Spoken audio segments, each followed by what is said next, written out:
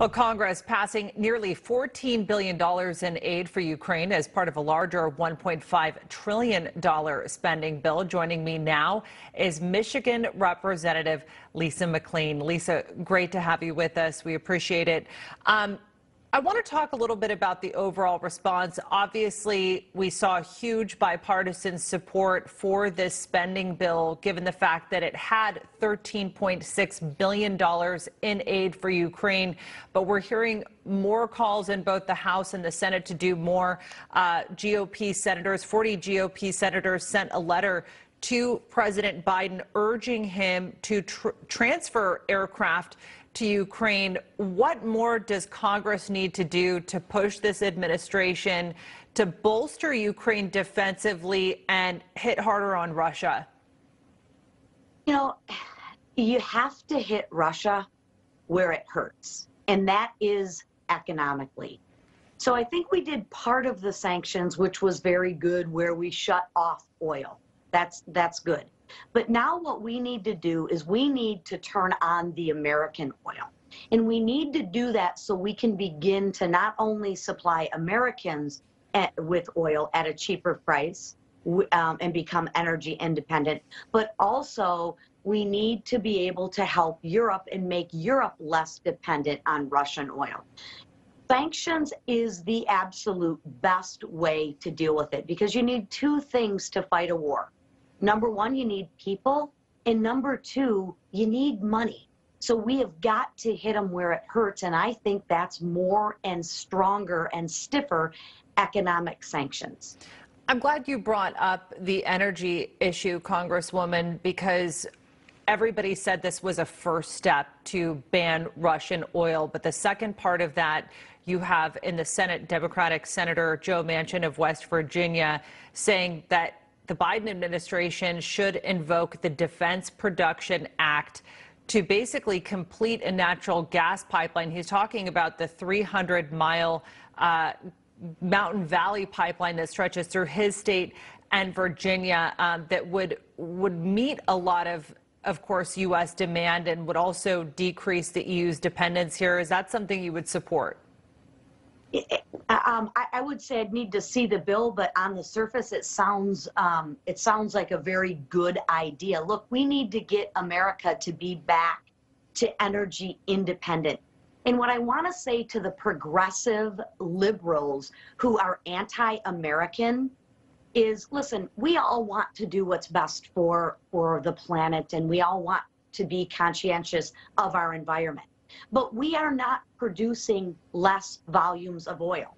And the and, and people are not consuming less. The difference is we are not producing the oil. We are ex we are excuse me importing the oil from terrorist nations. So so i would ask the, the progressive liberals a, a couple things. One who do you think has better regulation on oil production? America or russia Iran, Venezuela, or Saudi or Saudi or, or the Saudis. I think we have better regulations. Number two, why would we fund our adversaries when we can drill oil here in America? If we begin to import Iranian oil, where do you think the Iranians are going to use that, that money for? Yeah. Perhaps a nuclear bomb? Why would we do that in nuclear weapons? Why would we fund our adversaries?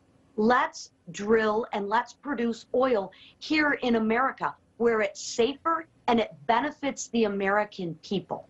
Yeah, Congresswoman McClain, we certainly saw a lot of backlash against the discussions that the Biden administration, as you mentioned, has been having with Iran, uh, Venezuela. And this is something that, uh, particularly, we've heard multiple, multiple bipartisan lawmakers saying that, you know, it's really quite simple. Why aren't we producing it here?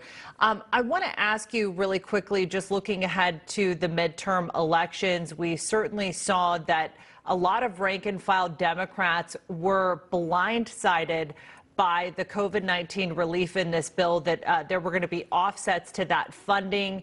That actually took a lot longer for the House to pass that $1.5 trillion spending bill because of this.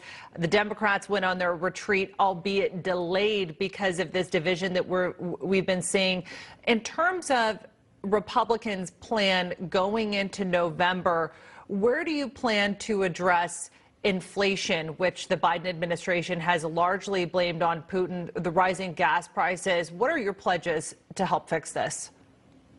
First and foremost, we have got to get our spending under control. Now, infl- inflation is too many dollars chasing ch- too few goods. So we can't it, we can't inject more money into the economy. That's only going to cause inflation to rise again. But first and foremost, we have got to tighten our belts. There's a difference between wants and needs, and we truly have to take a look at our spending. That is number one. We, we are spending these dollars on the backs of our children and our grandchildren. And, and look, we just passed another $1.5 trillion. The spending is out of control. At some point in time, it's going to come crashing down and it will hurt everyone. Yeah.